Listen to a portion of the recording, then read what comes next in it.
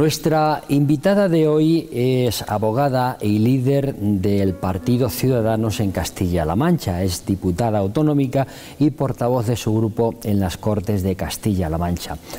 Es joven, es inquieta y les quiero presentar a todos ustedes a doña María del Carmen Picazo Pérez. Bienvenida. Muchísimas gracias por invitarme. Es un placer estar con vosotros y me ha gustado mucho lo de que es joven. ¿eh?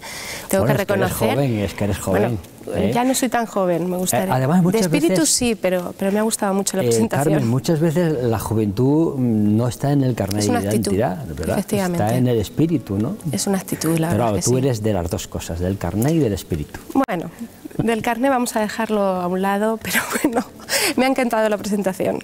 Muchas gracias. Entre 2015 y 2019 fuiste concejala en el Ayuntamiento de Albacete. ¿Es importante en política coger experiencia desde la base? Bueno, yo entré en el ayuntamiento, lo cual para mí ha sido un privilegio y he aprendido de política y el poder estar con la gente de tú a tú ha sido todo un privilegio. Yo no venía del mundo de la política, venía de la sociedad civil, era abogada ejerciente y bueno, fue todo un descubrimiento, fue un camino de aprendizaje sobre todo y ello te da otra visión y de cara a las Cortes pues sí que ha sido un punto a, mi favor en cuanto a pues eso, saber cómo, cómo se mueve la política, cómo funciona, pero también debo de decir que, que no creo que sea esa experiencia es importante en algunos puntos, pero la ilusión con la que se entra, con la que yo he visto entrar a muchos de mis compañeros en ayuntamientos, también como diputados sin tener experiencia previa, esa ilusión, esas ganas, el trabajo que realizan diariamente, te, das cuenta de que, bueno, pues es que nada es imposible y que estamos al mismo nivel que muchos políticos que se van a gloria de estar toda la vida en política. Yo creo que es un plus el venir de la sociedad civil y saber que algo estaba fallando en política cuando personas como yo, que vamos, no nos podíamos ni imaginar en el 2013 ni en el 2014 que íbamos a ser cargos públicos, lo que hemos logrado, lo que hemos hecho, yo creo que esa ilusión, las ganas, eso desde luego no es que lo de la experiencia, sino que lo da el, saber que tienes que trabajar, que cumplir con un servicio público y yo de verdad que estoy muy orgullosa del trabajo que están realizando todos los cargos institucionales de ciudadanos que sin tener experiencia previa se han puesto eh, a trabajar de tal manera que están en muchos casos a un mayor nivel de esos políticos que llevan toda la vida y que parece que están acostumbrados a hacer siempre lo mismo. Y es que nos merecemos un cambio. Y hay gente que quiere ese cambio, que lo está haciendo en realidad poquito a poquito, porque es difícil transformar esta sociedad y todo lo que hemos vivido en estos últimos años, pero yo estoy muy orgullosa y bueno, estamos aquí para servir a, a la gente, servir a los castellano-manchegos y en ello estamos. Es importante lo que aportas, ¿no? Porque sois personas que habéis accedido a la política desde, desde la sociedad civil que tú decías, ¿no? Y que evidentemente eso es aportar aire fresco, ¿no? A la política. Yo creo que es aire fresco. Además, yo en mi época de concejal en el Ayuntamiento de Albacete compatibilizaba mi trabajo de abogada también, al cual lo he hecho mucho de menos, con mi faceta de concejal. Sí, sí. Con lo cual yo creo que hemos demostrado también una capacidad de trabajo enorme. Ya no solo hablo por mí, sino por muchos de mis compañeros que sé que, al igual que yo, están trabajando en muchos ayuntamientos sin cobrar absolutamente nada, ejerciendo sus trabajos y pasando horas y horas trabajando por sus vecinos en pequeños municipios, en municipios más grandes y que realizan un trabajo que a veces yo me admiro de lo que consiguen y que, que tienen ganas de más, ganas de conseguir mucho más porque hay tantísimo que hacer y que cambiar que la verdad que para mí es un orgullo. Eh, eh, ¿Qué hace en realidad, Carmen, que tú decidas entrar en política? Son muchas cosas. Yo recuerdo que un día estando en casa vi una rueda de prensa de un ministro que parecía, no recuerdo si era el 2012 o 2013, que, bueno, que nos iban a intervenir, que no sabíamos, teníamos un futuro poco esperanzador, por decirlo así, que nos iban a intervenir. Y yo pensé en mis hijos, tenía, mis hijos eran muy pequeñitos, creo que el pequeño tenía dos años o cosas así, y dije, si no hacemos nosotros algo, nadie lo va a hacer por nosotros. El granito de arena que podamos hacer, que podamos hacer o podamos colaborar porque esto cambie. Yo no quería que mi hijo viviera peor de lo que yo, mi generación, había vivido.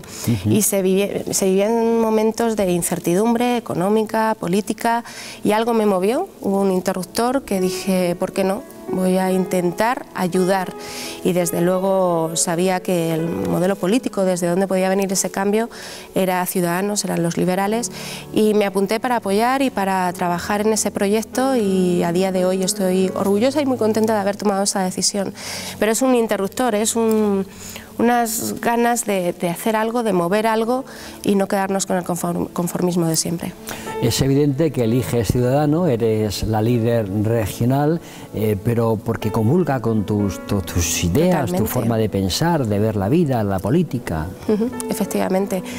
Eh, yo escuchaba a Albert Rivera en la televisión, oía, veía todo lo que estaba pasando y cuando hablaba era lo que yo pensaba era lo que yo creía que era mejor para nuestra sociedad, para mi ciudad, para España y desde luego que me sentía totalmente identificada con ese sentido común, con esa moderación y por qué no hacer las cosas como todos pensamos que hay que hacerlas, porque muchos de los que me escuchen entenderán que a veces es tan complicado hacer algo que parece algo tan sencillo, hasta tramitar un expediente, hasta cosas que nos parecen ilógicas, cuando uno es autónomo sabe lo difícil que es poner en marcha un negocio mm, que parece que estás solo, que todo cuesta, que los plazos parece que no llegan nunca, que te piden más papeles, cuando todo puede o debe ser más sencillo. He puesto un ejemplo muy, muy sencillito, pero es que lo que cuesta, ¿eh? cuesta tanto mover toda una burocracia enorme, cuesta tanto cambiar los planteamientos de, de, lo de siempre, que parece que está ahí anclado y no se puede cambiar.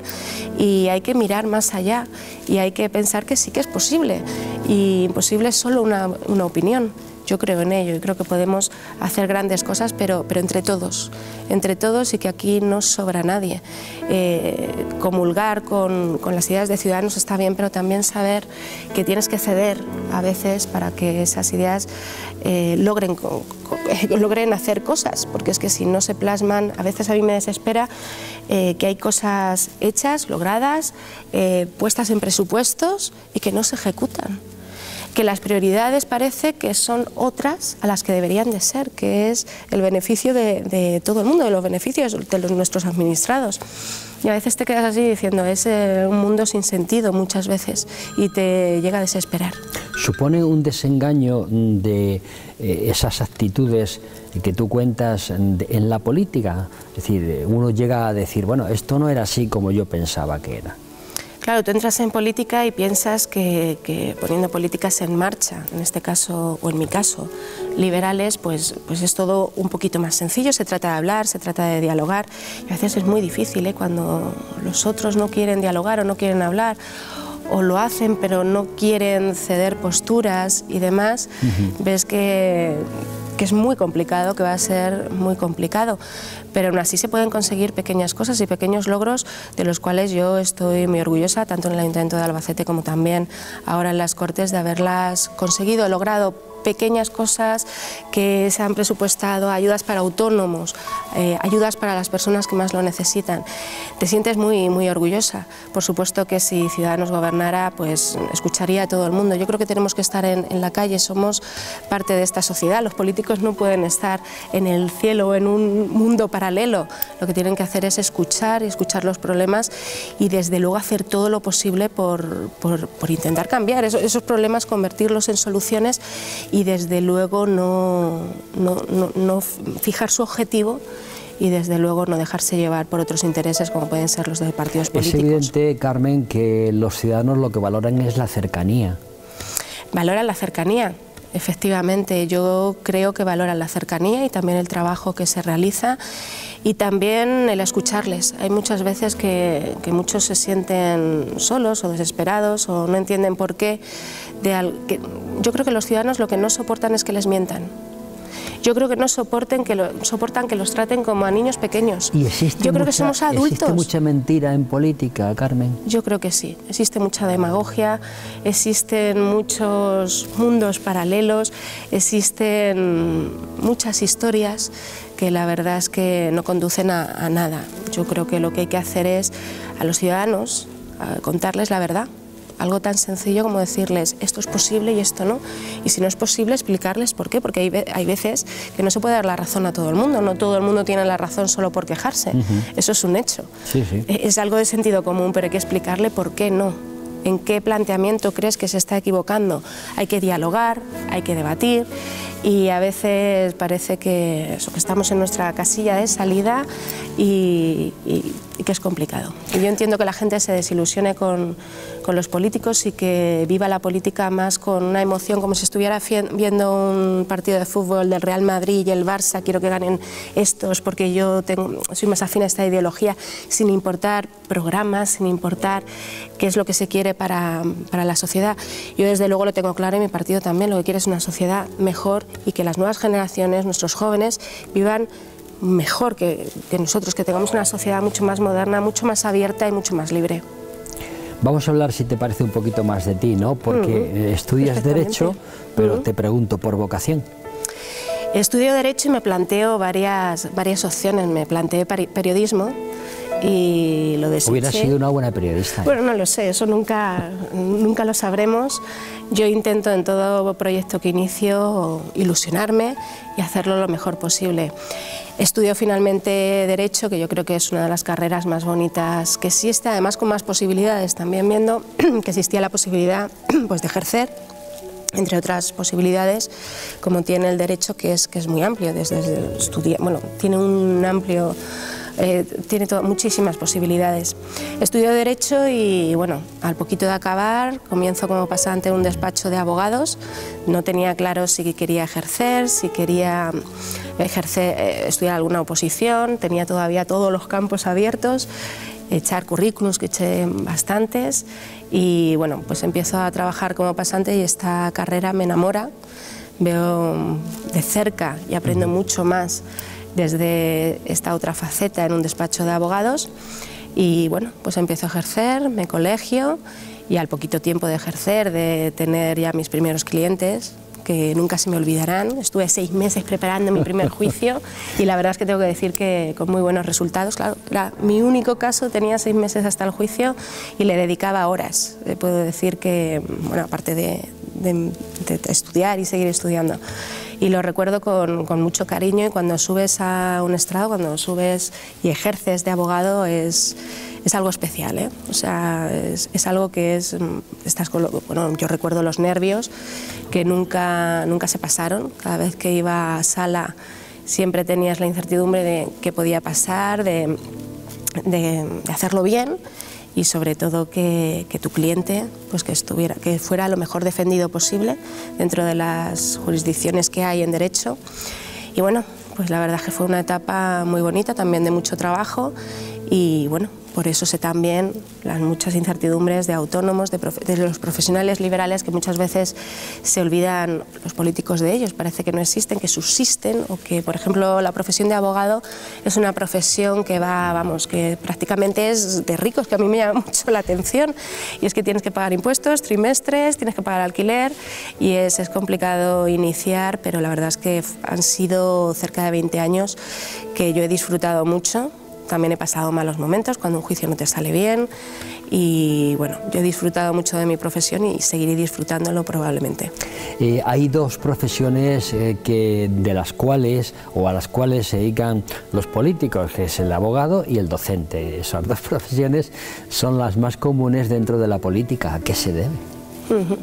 No sé a qué se deberá. Yo en mi caso, dedicarme a la política, yo creo que cualquier persona eh, que tenga una incertidumbre o una mm, vocación de servicio público y, de trabajar por los demás, por sus vecinos, por, su región en este caso, yo creo que independientemente de, la, de la profesión que haya ejercido, de la carrera que haya ejercido, es totalmente válido y tenemos muchísimos ejemplos. En Ciudadanos hay ingenieros, hay arquitectos, hay funcionarios, hay una amplia gama, hay psicólogos, hay una amplia gama de profesiones liberales y en otro caso funcionarios y la verdad es que yo estoy muy orgullosa del trabajo que están realizando y saben mucho de, su campo y es más una vocación, unas ganas de trabajar y de trabajar bien.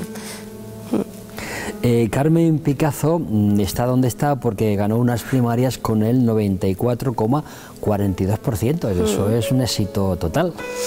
Sí, bueno, yo tengo que agradecer el respaldo que en su día me dieron los afiliados y agradecérselo enormemente porque gracias a ello pues ahora mismo estoy de diputada o de coordinadora a nivel regional y eso hace que haya podido tener vivencias tan interesantes como ser diputado, poder defender en Cortes muchas de las medidas que hemos llevado y para mí es un, honor, pero queda mucho trabajo por, por hacer, muchas personas a las que ilusionar.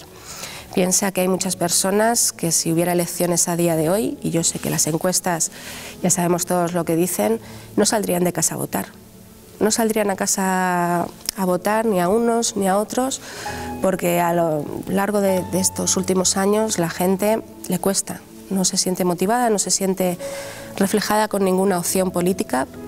Yo misma, si no existiera Ciudadanos, probablemente no sé si votaría, no votaría ninguna de las opciones que, existen actualmente en el panorama político y a esas personas hay que ilusionarlas.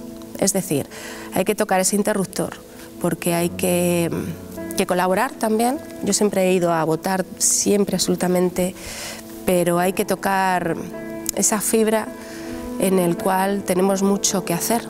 Y aquí hay muchas personas en mi partido que están dejándose la piel por trabajar día a día y haciendo cosas que están saliendo, que se verán más o menos en prensa que se discutirán más o menos, que se tergiversarán por unos o por otros, pero se está realizando un muy buen trabajo, del cual yo me siento muy orgullosa y quiero que, la gente nos conozca, que, sepa qué es lo que estamos haciendo y que apueste por nosotros, porque creo que una compañera, además de Ciudad Real, me comentaba el otro día que somos como la salud.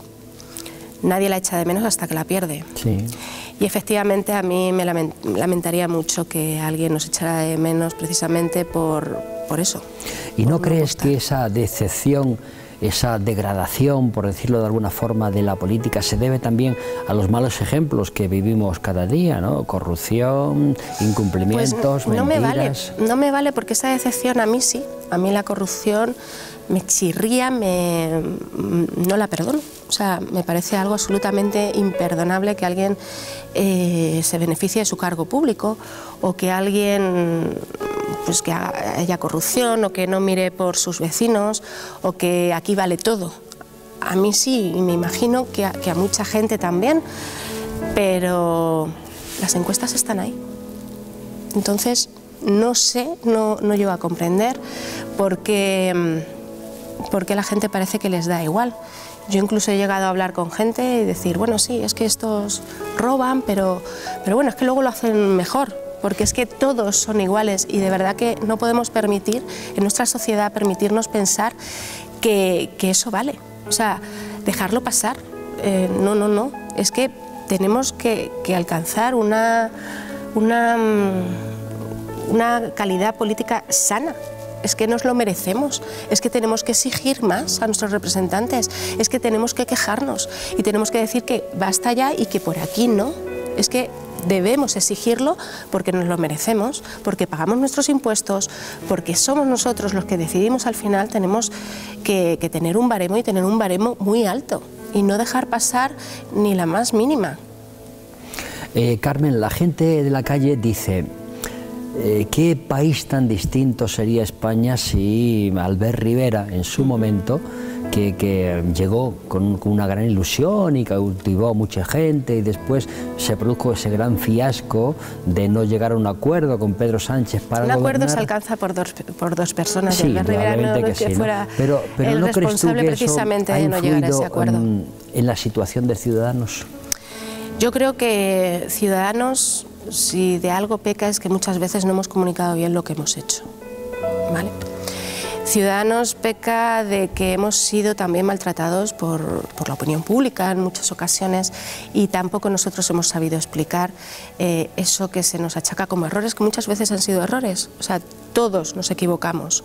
Equivocaciones sí, pero no hemos sabido explicarlo porque detrás de todas las decisiones hay una motivación, hay una explicación y yo creo que no, se nos ha dado esa, esa opción tal vez. Eh, yo cuando oigo a Inés Arrimadas decir que hay que hacer lo correcto, Independientemente tenemos un partido, pero que si una decisión es la correcta y la que mejor eh, va a venir a nuestros vecinos, a los españoles, a los castellano-manchegos, debemos de tomarla sin, sin, tener ningún miedo. ¿Cuánta gente nos ha achacado que nos hemos vendido al sanchismo, que nos hemos echado en sus brazos? También nos achacan lo contrario, que nos hemos echado a los brazos del PP. O sea, tenemos para todos los gustos y entre unos y otros nadie entiende que somos centro, que somos moderados y que en cada decisión, por ejemplo, el, estado de alarma, sus prórrogas, era de verdad porque había técnicos, epidemiólogos que nos decían que era lo mejor en ese momento. No se trataba de dar la razón. Nosotros no hemos firmado ni hemos pactado nada con Pedro Sánchez que no beneficiara a los españoles. Lo digo porque en el presupuesto no apoyamos sus presupuestos. Pero para empezar a negociar, sí que conseguimos, por ejemplo, que no se subiera el IVA de la escuela concertada.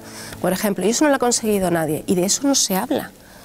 Logramos y forzamos que se hagan medidas buenas para tu vecino, para, para ti mismo, y, de eso no se habla. Se habla de cuestión de políticos para políticos. Si se hubiera pactado, pues si se hubiera pactado, tal vez estaríamos en otro panorama, efectivamente.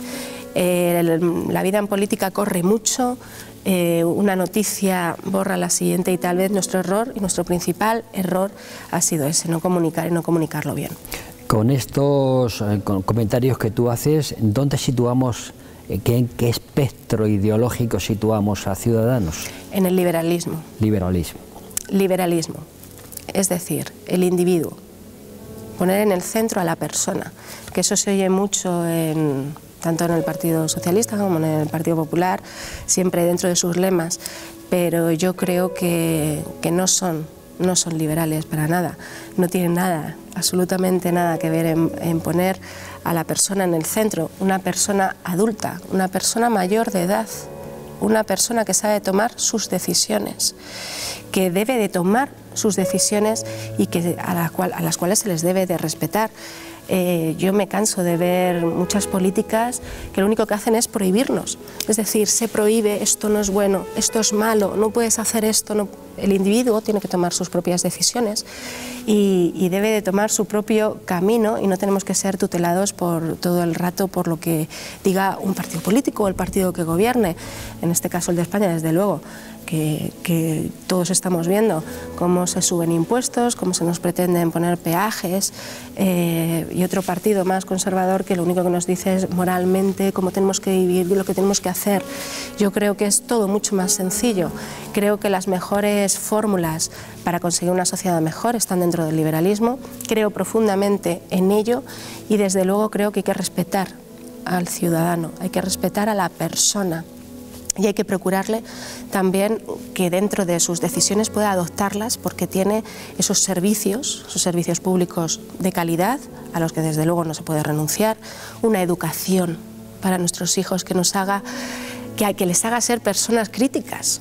Es decir, algo tan elemental como que un niño piense, que un niño no tenga que leer en un libro lo que tiene que pensar o, o no, déjale pensar, darle todas las herramientas para que esa persona sea libre y que pueda pensar. No hay nada más bonito. Cuando, si empezamos desde el estamento de la educación, desde la educación, podremos hacer una sociedad mucho más libre, con la que yo de verdad estoy convencida que no sé los años que faltarán, pero que llegaremos a eso para ser una sociedad mucho mejor, mucho más moderna y no confiar tanto en las decisiones que nos impongan, sino en la que toda la sociedad impongamos porque queramos como individuos y ser, y ser libres.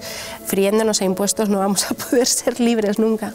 Entonces, desde el liberalismo, ¿cómo se ve Castilla-La Mancha, Carmen? Bueno, Castilla-La Mancha se ve en las Cortes, si tú escuchas o al gobierno de la Junta, todo va bien, todo va perfecto. Vivimos una pandemia y además quiero poner especial énfasis en, esa pandemia en la cual transcurrido un año parece que es que no, pasa, no pasó absolutamente nada, siendo la comunidad con mayor letalidad, siendo la comunidad en la que hubo unos hechos, hospitales colapsados, Ciudad Real también lo vivió, Alcázar de San Juan también lo vivió ese hospital, mm. totalmente colapsados, y aquí se nos ha llegado a decir que nunca faltaron respiradores, o que, bueno, si acaso se ha visto alguna bolsa de basura en alguna residencia, no, no. se vieron muchas. Y todos sabemos que faltaban mascarillas, que faltaba material, pero que no oculten, que faltaban efectivamente. ¿Y por qué? ¿Qué gestión se realizó? Nosotros hemos pedido una comisión COVID que además fue pactada con el Gobierno y también fue pactada con el Gobierno, con el Partido Socialista, el Grupo Parlamentario Socialista en Cortes, la cual se niegan a hacer. Yo no entiendo por qué. ¿Qué problema hay en ser transparente? ¿Qué problema hay en analizar qué se produjo en esos colapsos de hospitales, qué decisiones se tomaron, por qué se produjeron y qué decisiones se tomaron. Yo creo que hay que analizarlo, pero por ser una sociedad sana y crítica también.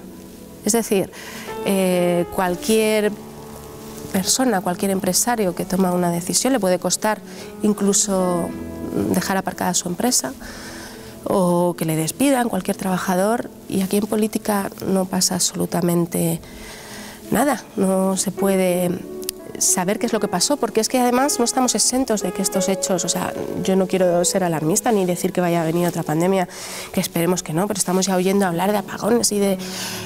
Mm, vamos a analizar, vamos a ver qué se tiene que hacer en una época de, de crisis. ¿Qué es lo que se tiene que hacer?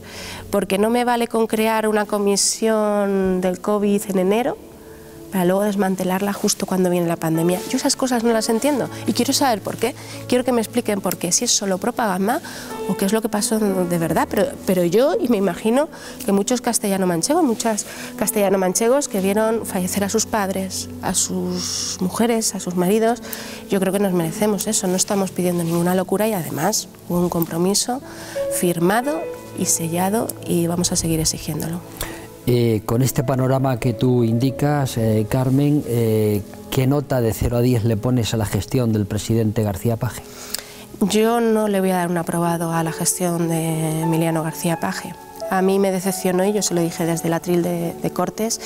Yo creo que fue una pésima gestión, muy deficiente, muy deficiente, porque faltó transparencia, faltó anticipación, una total improvisación con lo cual mm, yo desde luego no le puedo aprobar y al menos pido y exijo como castellano-manchega, ya además dentro de mi grupo parlamentario, pero pido y exijo que se sepa qué, pasó en esos hospitales, eh, si, si hubo triaje, no hubo, si faltaron respiradores, yo creo que nos lo merecemos todos. Y yo me pregunto, ¿por qué no hay más consenso en la política regional? A ver, nosotros lo hemos dado todo por el consenso. Lo hemos, hemos llegado a acuerdos y además en la época de la pandemia, y no fue fácil, llegamos a ese pacto por la reconstrucción que se han logrado grandes medidas. Grandes medidas como esta comisión, que no, grandes medidas que luego hay consenso, pero que no se ejecutan, que también es decepcionante. ¿Por qué no hay más consenso? Pues porque yo creo que no están acostumbrados a hablar. Porque de verdad que nosotros hemos tendido la mano. En aquel momento decíamos que no era el momento de buscar responsabilidades, sino de salvar vidas, y es lo que hicimos. Y ahora nosotros seguimos con la mano tendida. Tenemos a muy pocos meses, a un mes y medio los presupuestos, y yo lo que quiero es sacar medidas para, para, para la gente, para los castellano-manchegos, y valorar qué, qué le puedo aportar de verdad con esas enmiendas a los castellano-manchegos. No sé si estarán decididos a negociar o no, porque nadie ha dicho nada de negociar. Tampoco estoy acostumbrada a ello. Yo en el ayuntamiento se negociaba de manera normal y hablábamos mucho y sí que, sí que existía consenso, tal vez precisamente porque no existía mayoría absoluta y, las mayorías había que trabajarlas. ¿eh? Hay que trabajarse lo que es un acuerdo y eso conlleva horas, conlleva esfuerzo, conlleva que uno ceda, conlleva que otro em, pues tenga que hacer también sus posiciones y yo de mi época del ayuntamiento es que eh, era una situación complicada, el gobierno no tenía mayoría, con lo cual tenía que ceder muchas veces, tenía que hablar con todos. Y mire, que en el Ayuntamiento de Albacete en aquella época se aprobaran eh, por tres años consecutivos los presupuestos, eh, gobernaba el Partido Popular, pero también eh, creo que la última ESA estuvo y alguno fue con el voto favorable del Partido Socialista. La verdad es que es un orgullo porque, porque se hablaba y se conseguían cosas y yo creo que la gente lo, llega, lo, entiende, hay que normalizarlo. Es decir, mm, no puedes ponerte en una postura de, yo le llamo el régimen socialista, y una postura de decir, sí, sí, tienes mayoría absoluta, pero pon los pies en el suelo. porque a mí yo lo que veo es que todo va bien, todo pero no es lo que palpo en la sociedad. Yo desde luego veo a muchos autónomos que lo tienen mucho complicado, muchos profesionales liberales también, muchos empresarios que tienen incertidumbres y creo que hay que trabajar en esa, en esa línea. Yo estoy orgullosa de las ayudas a los autónomos de ese pacto de la reconstrucción y, y que se han sacado adelante se diga o no se diga que fue gracias a Ciudadanos, porque luego al final ya en definitiva siempre se lo arroga el, el, que gobierna. Pues esto es así pero lo que hagamos en política es lo que yo me voy a llevar. Y de verdad que no hay otro fin ni otro afán que, seguir trabajando y conseguir cosas, eso sí, y cosas buenas. Sin embargo, Carmen, dos ejemplos, buenos ejemplos de entendimiento político han sido los acuerdos en las alcaldías de Albacete y Ciudad Real. Efectivamente. Esa es la línea, ¿no? yo creo que es la línea y además se nos ha criticado mucho, se nos critica por todo, la verdad es que hagamos lo que hagamos, pero hay que extraerse de esas, de esas críticas o que bueno, que no todo el mundo le, le tal, pero hay que, hay que trabajar. Yo estoy muy orgullosa de que allí donde gobernamos, que es Guadalajara, Ciudad Real y Albacete, se bajan los impuestos. Un ejemplo, en Toledo y Cuenca, que gobierna el Partido Socialista, no se baja el IBI, no se bajan los impuestos, no se bajan las tesas, no hay exenciones. Algo hay, ¿no? Alguna influencia habrá de, de ciudadanos. Y eso lo me imagino que lo valorarán los vecinos. Yo, desde luego, en mi ciudad, yo, lo valoro, que pueda ver cómo se reduce ese, ese, recibo que pagamos todos los años. Y yo lo valoro y valoro muchas medidas y valoro que se trabajen en proyectos que estaban estancados eh, desde hace 10 años, porque, claro, cuando tú entras en el ayuntamiento no entiendes por qué hay, o ayuntamiento Cortes, proyectos que se están hablando de ellos durante 15 años, durante 20 años, y ves que no se ponen en marcha y que cuando llegan las elecciones todo el mundo lo promete. Vamos a ver, este proyecto está de acuerdo, todos os habéis puesto de acuerdo en que hay que hacerlo, pero ¿por qué? ¿Por qué no nos ponemos en marcha? ¿Por qué no lo hacemos? Es, absurdo, caso de peatonalizaciones, caso de, solares abandonados, de, multitud de cosas que en el ámbito municipal se pueden hacer muchas y muchísimas cosas y también dentro del, del ámbito de, de, las cortes, con carreteras que nos vienen prometiendo, hospitales que iban paralizados por unos, por otros. Si es que el problema no es que, que, que tú quieras quedar por encima de el otro. Si es que el problema lo tenemos que vivir todos porque, porque pienses que no y el tú más. Yo en Cortes estoy aburrida de verdad del oír, esto sí, pero es que es tu culpa porque tú lo paraste, sí, pero tú tenías facturas. Todos los plenos. Eso produce desencanto en la gente, ¿eh? mucho aburrimiento. Desencanto. Produce desencanto y aburrimiento. Sí, sí. Pero algo tendremos que hacer para cambiar esa dinámica. Algo habrá que hacer, tocar ese interruptor y decir, jolín, ¿Por qué Castilla-La Mancha tiene que tener eh, los peores datos en paro femenino? Tiene que tener los peores datos de abandono escolar. y no pasa nada todo va bien, porque como veníamos de una situación tan precaria, con subir un punto dos ya nos damos por satisfechos. Pues no, yo soy ambiciosa y estoy rodeada de un equipo de personas ambiciosas, pero para su tierra, para hacer proyectos que de verdad yo no quiero ver cómo mis hijos tengan que abandonar Castilla-La Mancha porque no puedan encontrar empleo. Yo quiero que hagan lo que ellos deseen hacer y que si quieren quedarse aquí en esta tierra se puedan quedar y que sean las mismas condiciones como si fuera en Valencia, como si fuera en Castilla y León o como si fuera Madrid. Es que tienen el mismo derecho. Y aquí hacemos reinos de taifas y ya está, yo decido y, ya está. Eh, Carmen, las encuestas no son mm. muy propicias para el grupo Ciudadanos. ¿Te las crees? ¿Os preocupan? ¿No os preocupan? Yo las encuestas, y además es una tendencia que, lleva ya desde hace algunos meses, sé que no es, algo, no es algo nuevo y demás. Yo siempre digo una cosa, yo voy a trabajar por revertir esas encuestas y por ilusionar a la gente, que esa es mi labor como, como coordinadora autonómica de Ciudadanos, como diputada en Cortes y como castellano-manchega, porque creo que es lo mejor, de verdad. Creo que el mejor proyecto para esta tierra y también para España es el proyecto de liberal de Ciudadanos. Yo voy a intentar ilusionar a la gente. Es muy difícil cuando tienes una opinión pública, cuando muchas personas te, te dicen, vamos, poco más que, que no existimos y demás. Yo existo cada vez que saco una medida para mis vecinos. Yo existo y me me ilusiono cada vez más cuando veo los grandes retos que tenemos en esta tierra. Ya no hablo de, España, que también, pero cuando veo todo lo que se puede hacer, todo lo que está paralizado, y, y me ilusiono nuevamente, porque yo creo que de verdad somos la mejor opción política posible. Claro, yo conozco a mi equipo, yo conozco la gente que me rodea, yo conozco la, buena voluntad y la buena gente que, tengo que, va a lograr ilusionar a mucha gente que en esas encuestas no, nos, no, salimos bien parados, pero ¿cuánta gente le gustan esas encuestas? ¿Cuánta gente está ilusionado en esas encuestas? No lo sé.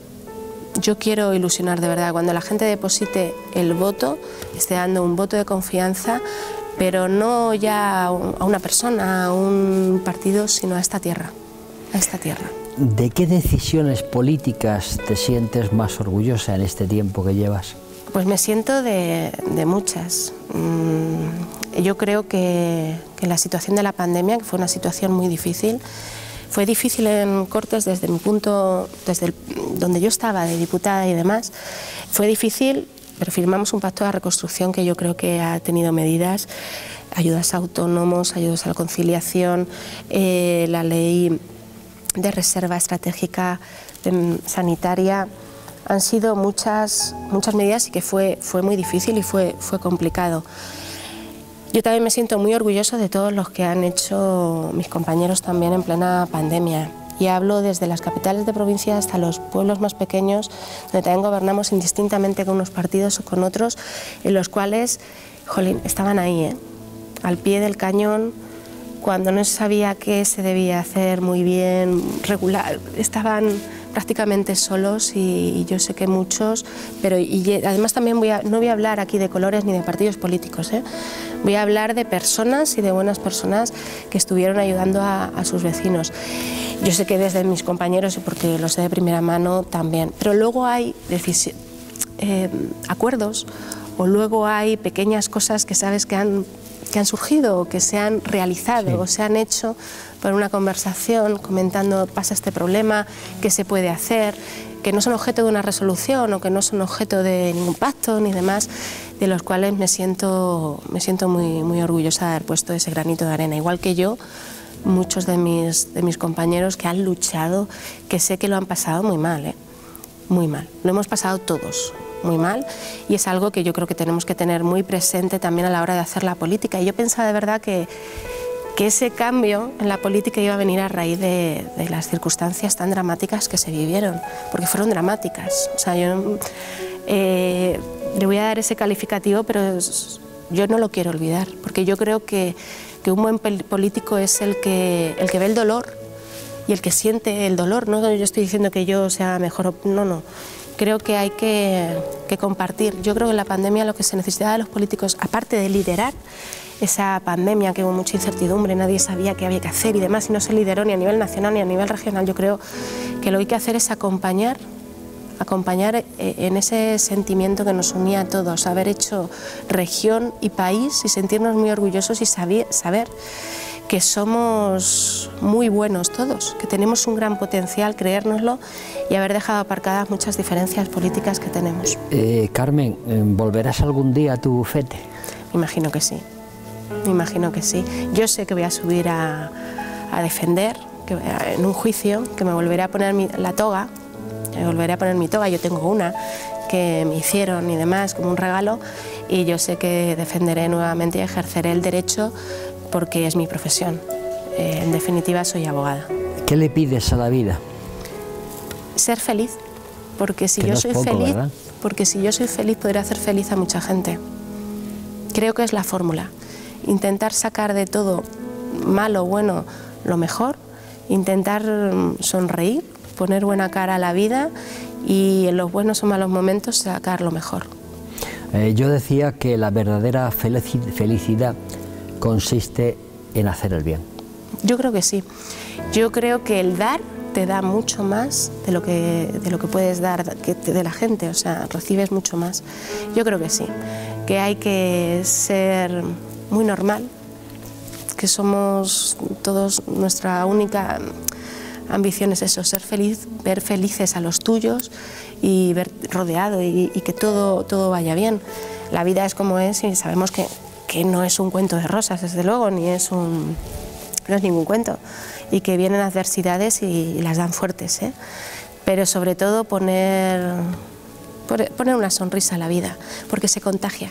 Las sonrisas se contagian y la verdad es que se vive mucho mejor con esa sonrisa que estar enfadado. Yo estar enfadado y es que hay tantas cosas tan fuertes que pasan en la vida como para que por tonterías estés amargado, decepcionado y no quieras ser feliz o compartir eso con otras personas, que yo creo es muy triste. Hay que ser felices. Pues ya ven ustedes que en el día de hoy estamos conociendo a la líder de Ciudadanos en Castilla-La Mancha, doña Carmen Picazo. Y llegado este momento también saben todos ustedes que solemos lanzar un test de personalidad a nuestros invitados. Por consiguiente, Carmen, si está preparada. Sí, luego no hay puntuación, ¿no? Luego no, te dicen qué tal. En absoluto. Defínete como persona. Una persona normal una persona normal y que, creo en los grandes retos, que creo que, se puede conseguir casi todo si se cree en ello. Defínete como profesional en este caso de la política. Pues me gustaría calificarme como buena persona. Creo que es lo mejor, buena persona y responsable. ¿Cuál es tu color preferido? Pues en estos momentos y después de lo vivido, el, verde, el verde color esperanza. Verde de esperanza. ¿Cuál es tu fruta preferida? Mi fruta favorita, y no tiene nada que ver con el partido, pero es la naranja y la manzana. Entre las dos, y depende de la temporada, la manzana también, pero tiene que ser muy verde. A mí me gusta la fruta que no esté muy madura, que esté verde. ¿Qué tipo de sabor te agrada? Pues tengo que reconocer que los últimos años, y a mí antes no, no era algo que me llamara mucho, pero el dulce me, vuelve loca. El dulce y el chocolate. ¿Mm? Galga. Sí, yo antes no lo era cuando era más jovencita y ahora tengo que reconocer que, tengo un problema porque es ver chocolate y me gusta chocolate, tres chocolates, todo lo que tenga chocolate, caliente, en bizcocho, lo que sea. Aunque sea puro. Puro me encanta. Ahora me he oh. comprado unas pastillas y tal que están buenísimas y tomo puro. ¿Qué tipo de ropa te gusta usar? Me gusta ropa cómoda, pero también tengo que reconocer que los trajes me gustan mucho desde siempre y los tacones. Oh, con la edad debe ser que los tacones es una enfermedad, ya veo tacones y cuanto más altos mucho mejor. ¿Qué mascota preferirías tener? No soy mucho de mascotas. Tengo que reconocer que, que mis hijos me piden mascotas y en casa no, no, tenemos mascota porque tampoco no es muy grande y demás, y no, no, no podemos tener mascota. Pero yo siempre he tenido en casa canarios, pájaros. Mi padre sí que era aficionado y hemos tenido nidos y, demás. Y por el recuerdo y demás te diría, aunque seré incapaz, porque ahora con los viajes y demás, pobres pájaros. Con lo cual mejor no tener ninguna, pero también los peces de colores también me gustan mucho. ¿Tu mejor virtud? Yo creo que es saber escuchar, creo. Tendrían que opinar otros, pero creo que es saber escuchar. ¿Tu peor defecto? Eh, yo soy un desastre. Yo el orden, tengo que reconocer que es mi asignatura pendiente y yo en mi desorden encuentro el orden. Entonces, mm, ese es mi defecto que tengo que debo de mejorar, pero yo creo que ya con la edad eh, no, no voy a mejorar. ¿eh? Yo tengo mi mesa llena de papeles, sé dónde está cada cosa, que no me lo muevan, pero ordenada, ordenada mi mesa no está nunca. ¿Tu comida favorita? Yo para comer soy muy peculiar, ¿eh? o sea, yo tengo un problema con la comida, pero yo te diría que el huevo con patatas. ¡Qué ricos! Y chuletas a la brasa. ¿Los haces tú? Eh, soy muy mala cocinera, pero para hacer un huevo frito sí, las patatas ya me salen algo algo peor, ¿eh? Pero bueno, si son de estas alargadas tal, sí. Yo el frito sé hacerlo, pero... en bolsa, se, se meten y ya está, Sí, pero tengo que reconocer que la brasa y con una buena sartén me gustan mucho más. Un libro. Uy, un libro.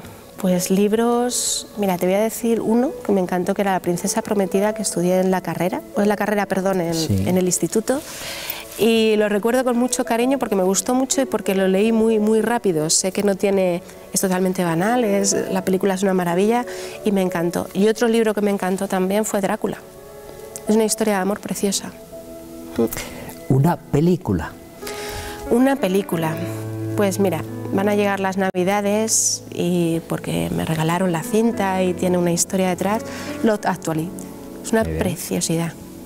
¿Un actor y una actriz? Uf, solo uno. Un actor y una actriz. Pues mm, voy a decir Jace Dean, porque en mi época de juventud la verdad es que me encantaban todas las, las películas, me gustaban muchísimo y por su muerte trágica y tal, tenía póster en mi habitación y desde entonces voy a decir Jace Dean y Sofía Loren que me gusta mucho en el Cid, igual que Charlotte Heston. Me gusta mucho esas damas, de esas películas de Hollywood de los años 60 y 70. La dama de Hong Kong, una de sus grandes películas. Me, me encanta. Eh, un político.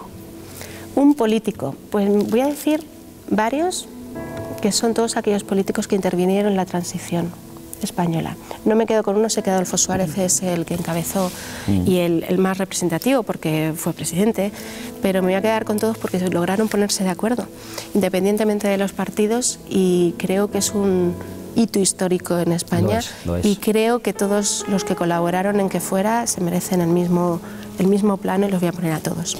Una religión. Yo soy católica. ¿Apostólica y romana? Yo no soy muy practicante, tengo que decirlo también, tampoco tengo mucho tiempo, pero, pero sí, yo tengo, tengo fe. Un programa de televisión. Veo poquísimo la, la televisión, lo debo de reconocer, y ahora soy más de, de series. Pero bueno, eh, voy a decir el, el hormiguero porque es la hora en la cual estoy con mis hijos, con mi hijo pequeño más en concreto, y además le encanta, 10 años. 10. Entonces le encanta, lo pones siempre y ahí es cuando, estoy, cuando no estoy en casa todo, durante todo el día. Cenamos y estoy, se acurruca, nos ponemos en el sofá y la verdad es que viendo el programa, voy a decir ese programa. ¿Qué personaje público admiras? Pues se pueden admirar muchísimo, sobre todo aquellos que han sido líderes que sin querer serlo eh, les, siguen, les sigue la, gente. Y ahora mismo mm, es que habría tanta, tantas que quedarme con uno es bastante, bastante complicado, la verdad. Quedarme solo con uno es bastante... No digas ninguno y ya está. No digo ninguno. ¿Qué personaje público detestas? Pues aquellos que siembran el rencor, mm. que siembran el odio y a lo mejor no debería decir ningún nombre, pero mira, Otegi es una persona que no, yo no lo conozco personalmente, no le deseo ningún mal ni, nada, pero no comulgo en absoluto con sus, con ¿Qué te pone pronunciamientos. De los nervios. ¿Qué me pone de los nervios? El que alguien no se baje de la burra ni aun sabiendo que no tiene razón. ¿Qué no perdonarías? ¿Qué no perdonaría? La traición. ¿Qué te hace reír? Me hacen reír muchísimas cosas y además eh, últimamente me he propuesto reírme de todo, eh, de mí misma y de reírme de todo porque creo que es como más feliz se es. Pero me hacen reír mis hijos, mis hijas son adolescentes, puedo decir que tienen algunas ocurrencias que mejor reírme que no llorar y, y bueno, me hacen reír cosas muy cotidianas y cosas muy, normal, muy, normal, muy normales. Que se te queme la comida, que aunque sea que tal, y, y cosas así de la vida cotidiana. ¿Qué te hace llorar? Me hace llorar el dolor, pero el dolor propio y ajeno también. El dolor de situaciones que no puedes controlar y esa impotencia de no poder hacer nada fallecimiento de, personas y el dolor que produce pérdidas, algo que no se puede, no se puede hacer nada, esa impotencia me, hace, me hace llorar y el, es eso, la impotencia y en casos de que se pueda hacer algo no haberlo hecho.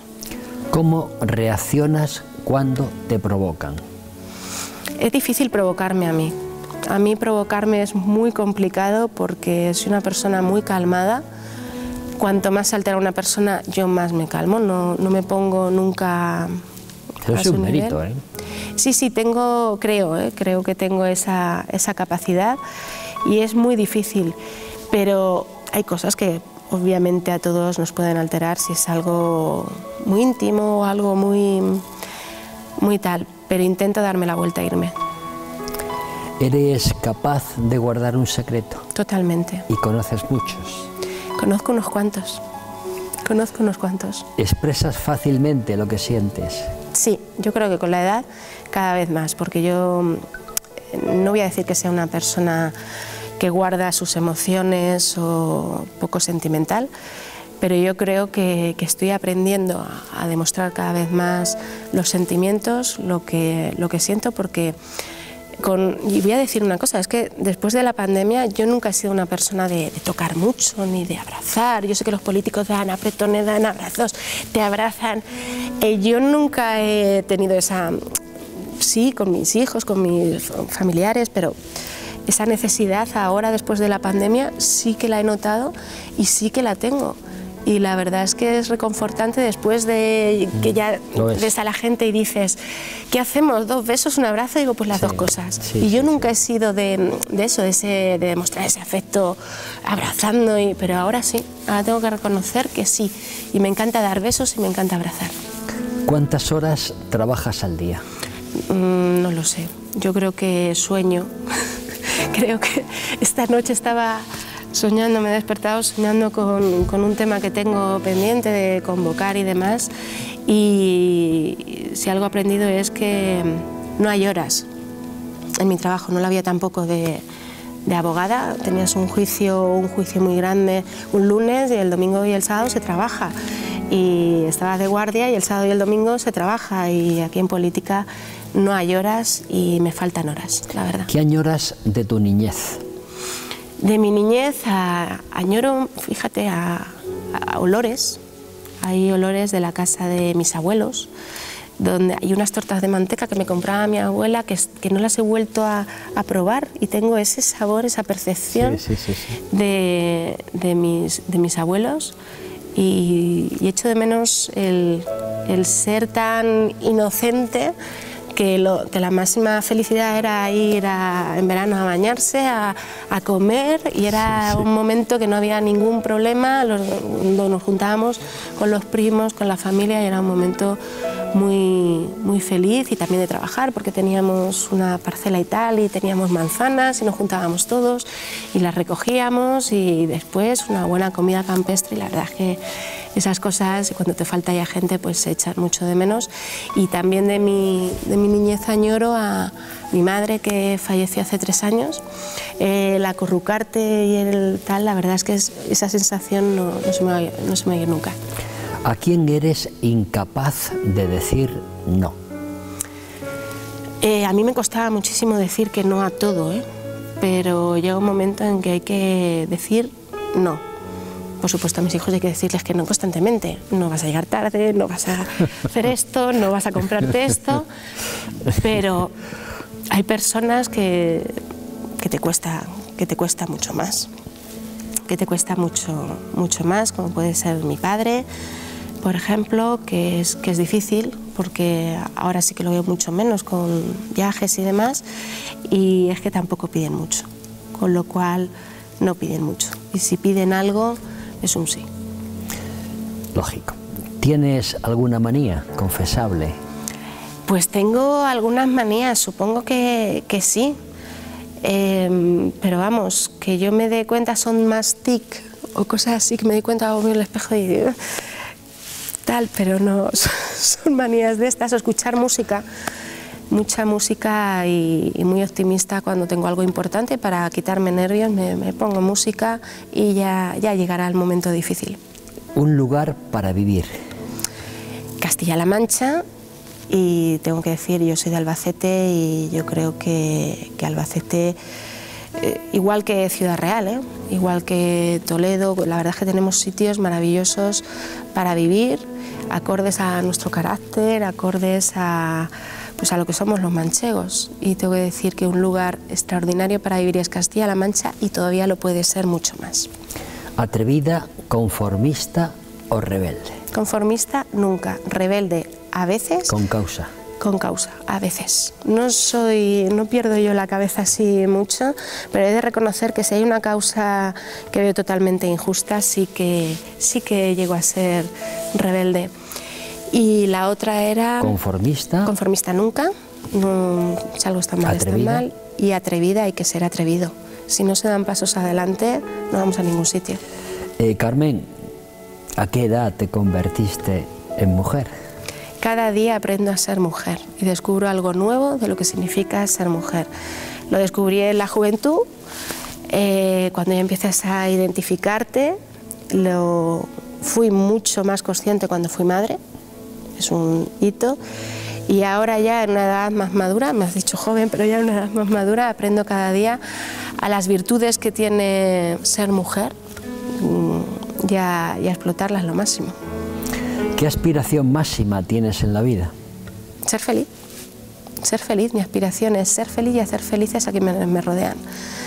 Y a, hombre, si pudiera pedir ya tener salud, eh, ya sería, pero eso ya de mí depende, bueno, puede depender el cuidarte más o menos, pero la aspiración es ser feliz y dejar algo que no olviden cuando yo me marche. Un lema de vida. Un lema de vida. Cree en ti. Yo creo en mí y creo en mucha gente. Y que imposible es solo una opinión, no hay nada imposible. Carmen, ¿cuál es la canción de tu vida? Pues de Diego, Diego, a ver, canciones hay muchas y la verdad es que a lo mejor cada semana voy cambiando de canción que me gusta, que me deja de gustar. Ahora hay una de Amaral y Estopa que es Despertar que me gusta mucho. Eh, la letra, hay algunas de Pablo Alborán que me gustan mucho. En mis tiempos era Alejandro San, cuando tenía 15 años. Hombre G me encantaba. Loquillo y su Cadila Solitaria me encantaba. Pero una que lleva acompañándome más tiempo, a lo largo del tiempo, pues por ejemplo la de Diego Torres, Diego Torres Color Esperanza, es preciosa. escucha.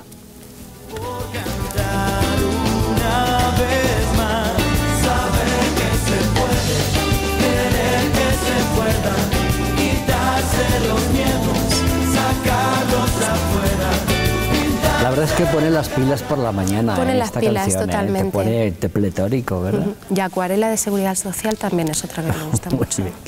Pues ya ven ustedes que en el día de hoy hemos conocido a María del Carmen Picazo Pérez, líder de Ciudadanos, abogada, política, mm, yo sigo diciendo joven, con ilusión, con ganas, con trabajo, con cercanía, y yo solo te pido que no cambies.